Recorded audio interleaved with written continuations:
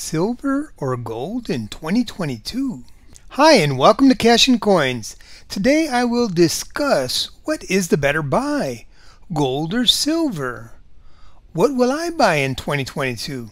Now I have checked several articles and I looked at the charts as I always do and the forecast was pretty interesting. Some things I expected and you probably expected it too, but some things were kind of surprising. Also, look back at 2021. All right, let's get into it. Hello, and thank you for joining me here at Cash and Coins.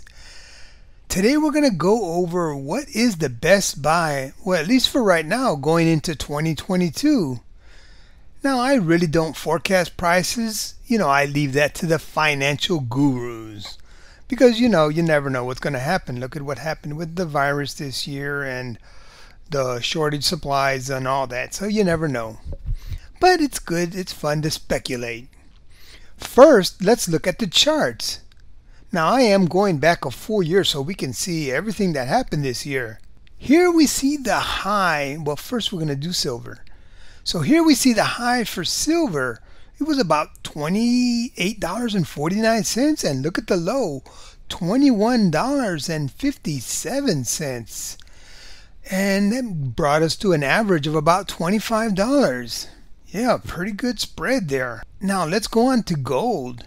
The high for gold was $1,950.40 and the low was $1,684.71 and the average price of gold was about $1,817.55, which is about where we're at today. Now, to finish off, let's move on to the next chart. Let's look at the gold and silver ratio, which is at 78.84% right now. That means silver is a buy. Now, that is if you play the gold and silver ratio, you know, trade silver for gold and vice versa and today is currently the 29th of December 2021. Silver is at $22.93 and gold is at $1,810.95.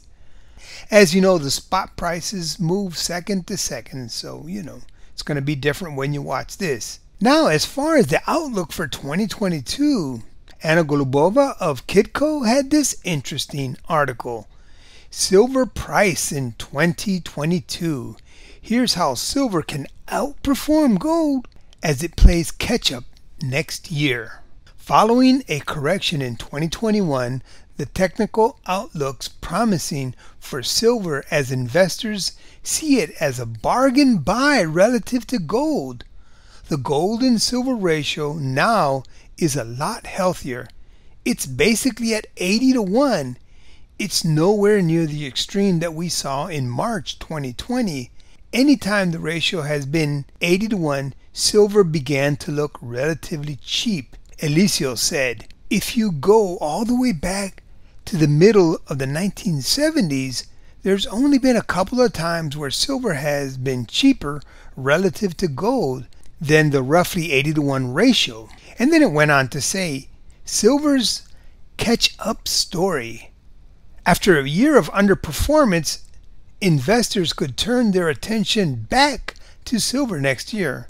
There's certainly that catch up story built in there. It has underperformed gold to date, and you'll find some switching by investors into the silver markets as a consequence of that, said ANZ senior commodity strategist Daniel Hynes. The silver to gold ratio also points to silver's potential outperformance, noted Eliseo.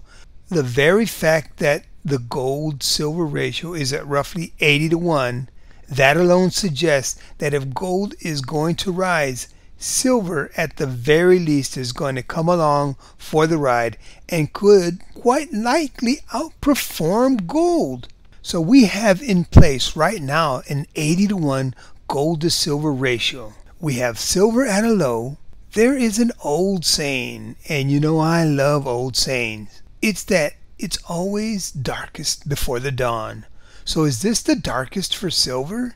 Is it time for dawn to break? Is 2022 the year for this? We have had supply issues and bottlenecking of freight, so silver could not be used in industry as it usually would.